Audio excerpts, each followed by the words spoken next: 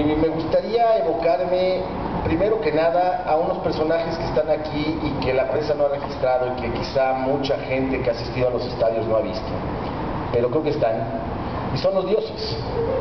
Los dioses fueron, digamos, los primeros habitantes de este planeta, luego llegaron las épocas de los héroes que ya Juan José Doñana ha remitido, después llegó el cristianismo, es decir, el imperio de los hombres, en la, ciudad del cielo, la ciudad de Dios estaba arriba, y después por ahí de principios del siglo XIX, Alemania eh, encuentra en el romanticismo el regreso de los dioses. Poco a poco, primero con Pan, después con el resto de los dioses y a través de la poesía para preparar a un ejército alemán que tenía que recuperar el territorio de la invasión francesa, se empiezan a juntar el arte y la poesía con Holderlin, después la filosofía y el deporte con Fichte y tendremos hacia el final del siglo XIX prácticamente Alemania, que es uno de los países que mejor hace deporte, que mejor hace arte, que mejor hace filosofía, que mejor hace, ya saben el chiste aquel, de que el fútbol es un deporte que se juega 11 contra 11 y siempre gana Alemania.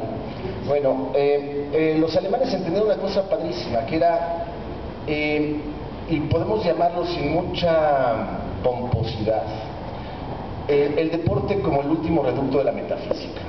¿Y a qué me refiero con esto del último reducto de la metafísica? A que lo que, para lo que nos sirve el deporte, en la victoria y en la derrota, es para conocer al ser humano. Si se han dado cuenta, el ser humano vive la tragedia de los dioses en el deporte. Las historias son muchísimas. Tenemos un Brasil que con un empate, con un empate era campeón del mundo en 50, pero llegó Uruguay y echó a perder la fiesta de 200.000 personas. Algo pasó ahí, así como pasó en Troya y así como pasó en muchas batallas griegas, los dioses habían jugado al azar, al capricho, con la vida de los hombres.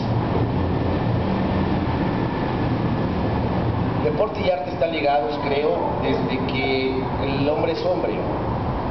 Ayer jugaba con el asunto de que podamos imaginar, y me gustaría que jugáramos todos y que le quitáramos la pomposidad al arte y al deporte podemos volver a la esencia de las dos actividades humanas, que es el juego. Lo terrible que fue para los seres humanos primitivos el primero caso. Y ahí nacen el juego, la religión, la magia y el arte. Algo tenía que pasar, ese primer momento donde el sol se iba y teníamos que amanecer. Pero amanecíamos y sabíamos que iba a anochecer. Venía la secuencia de los días, el hilo de los días. Entonces el hombre empezó a jugar antes de hacer religión, empezó a jugar y creó dioses. El hombre empezó a jugar y creó el deporte. El hombre empezó a jugar y creó la magia. Y de la magia creó la religión. Y prácticamente todo lo que hacemos es juego, no es otra cosa. Lo indebido es que muchas veces no nos damos cuenta y nos tomamos la vida demasiado en serio. Y creo que los mexicanos nos la tomamos doblemente en serio. Eh, estaba escuchando a Abelina y yo decía, no, no sé si la selección mexicana de fútbol no es también esta industria tramposa de la fábrica de sueños, cada cuatro años los mismos sueños, cada cuatro años las mismas lágrimas. Eh, yo creo que el experimento del ser es el deporte. Eh, el hombre se enaltece en el deporte. Lo último que hemos podido construir, y fue lo primero que pudimos construir, fue el deporte, el juego lo que nos ha dignificado y en donde nos hemos mejor representado, los hombres como especie, es en el deporte. Imaginemos otra vez y volvamos a jugar a cuando éramos niños, que es la esencia del ser, en todos los terrenos. No podemos superar la infancia y por eso tenemos que crecer. Y lo más doloroso es que crecemos, nos vamos olvidando de los primeros momentos, de los primeros estadios de nuestra vida y cuando volvemos siempre hay nostalgia, como diría Juan José Volver siempre produce nostalgia y a veces desconocimiento, como Ulises. Si pudiéramos nosotros mismos volver a ser los que éramos niños y ahora regresar con ese niño que fuimos, le platicaríamos de muchas cosas que hicimos. Eh, trabajamos, nos casamos, nos divorciamos, tuvimos hijos y estamos a punto de morir. Pero realmente donde nos vamos a identificar con ese que fuimos fue con Pelé, con Platini, con Zidane, con Michael Jordan, con todos los deportistas que vivimos. Es muy interesante el tema del juego. Todos los que estamos aquí tenemos actividades distintas. En esta noche donde se reúnen los dioses otra vez, esta vez en Guadalajara, pasó en Beijing hace dos años, cuatro años, tres años, en 2008, los dioses siempre vienen con el deporte. Entonces, sí, a todos tenemos actividades distintas, nos dedicamos a diferentes facetas, componemos de diferente manera este país, este mundo, eh, pero todos estamos de acuerdo en algo, el deporte nos gusta, el deporte es el juego que mejor jugamos y que más nos gusta, como hace rato.